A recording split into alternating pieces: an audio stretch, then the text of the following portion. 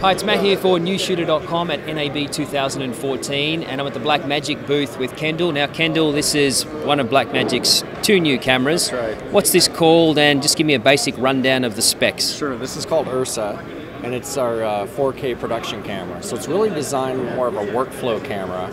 So you can see here we have a touch screen on the side. There's actually a touch screen on the other side. And you can have an audio person here going through all the scopes. You can have someone pulling uh, focus assist over here on the other side. Has a Super 35 size sensor in here, so it has 12 stops of dynamic range, global shutter, and then also, uh, you can see here on the back, we've rigged it up so that you can actually add in a plate and hook up your own batteries to it. Of course, you have SDI connections here in and out. You have ref- reference sync, so you can do uh, gen lock, things like that, time code in and out. And then here you can see it has an SDI out and actually a 12 volt power. So if you want to do your own eyepiece here or hook up another monitor, you can do that right in here. All your XLR audio is in here. And the really nice thing about this camera, if I can swing it around here for you, is you can see this beautiful 10 inch screen here. So you could have the DOP looking at the screen and have the other two guys working on the camera. It actually records here to the CFast cards.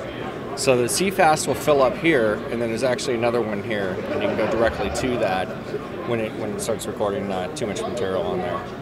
Menu options, hit this on here, and it's all touchscreen, which is really cool. Just like in our other cameras, you go through the menu options in there. Iris control, focus, and of course you have other buttons here, depending on how you're going to work. The really crazy thing about this camera that people are going to love is that you can change out the mounts on this, and you can change out the sensor.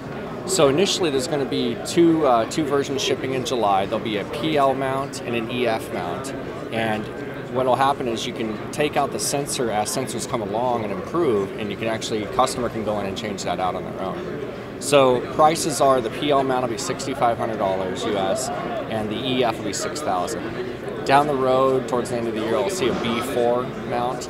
And then there's also one that doesn't have a sensor in it at all, and you can set, like if you have a favorite DSLR camera, you can actually set this on here, go HDMI, and use the body of the camera and all the pieces here, all the features. As the recording mechanism. Yes, exactly. As it, yep.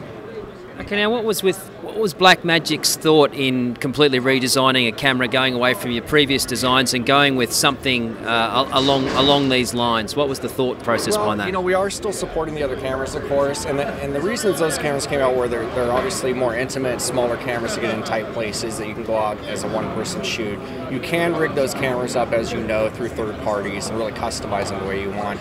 Wanted to move into something like this. Uh, the other thing, the, the other reason why this camera is built the way it is that I forgot to tell you was that it can get up to the high frame rate, 60 frames a second. So they really wanted to make something that had XLR built in, the battery pack and everything else, right in the camera, so you can go out and do full production right off the bat, not worry about having to rig it up with anything. Okay, now this a question you probably won't be able to answer, but uh, when's the expected shipping date? Oh no, I can't. July is what they're expecting on this camera. Yeah. Okay, great. Thanks very much for your time. Thank you.